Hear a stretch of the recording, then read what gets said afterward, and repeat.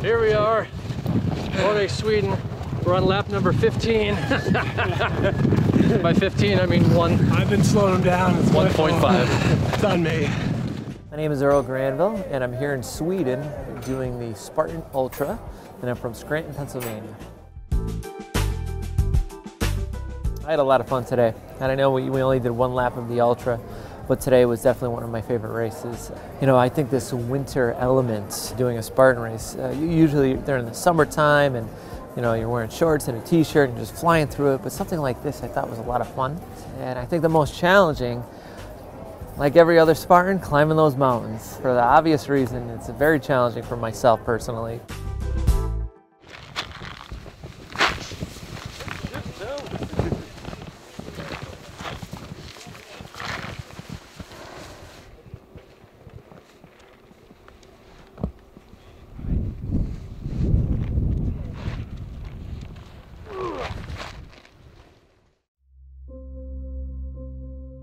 I served as an infantryman in the Pennsylvania Army National Guard for nine years, and on my third deployment, I was in Afghanistan and I lost my leg through a roadside bomb. And on that day, two of my buddies got killed, Specialist Derek Holland of Wind Gap, Pennsylvania, and Major Scott Hagerty of Stillwater, Oklahoma. You know, scheme of things, I feel like I, I got lucky. You know, that's the only way to pull it. You know, always remember Derek and Scott. But that gives me the ability to maybe do races in their honor, do events in their honor, keep in contact with their family. So a day like today, you know, very challenging, and it's just something for me to remember, man. Like, you know, life is good, and we're gonna get through this, and, and obviously it's gonna be challenging, but I still have the ability to do it, and that's what, you know, I appreciate about this.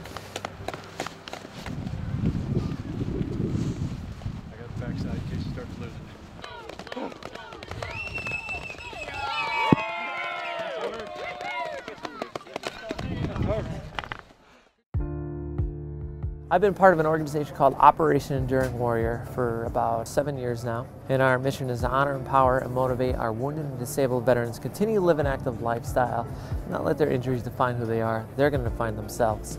And what I think is really most important is once again, just like when you wore that uniform, you're part of a team once again. You know, it's that teamwork aspect that we all have in that uniform, which I, I feel like a lot of people miss when they take that uniform off. What I believe this does, it gives their independence back finding a new passion in life.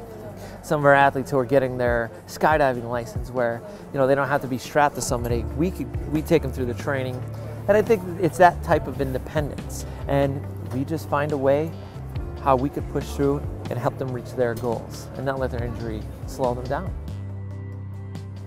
I think anybody, any you know kids out there who might be dealing with something like this, you, will always have that ability to take that step forward out of your comfort zone. Sometimes we can't control what happens in our lives, but we always have the ability to react to, it in a positive way.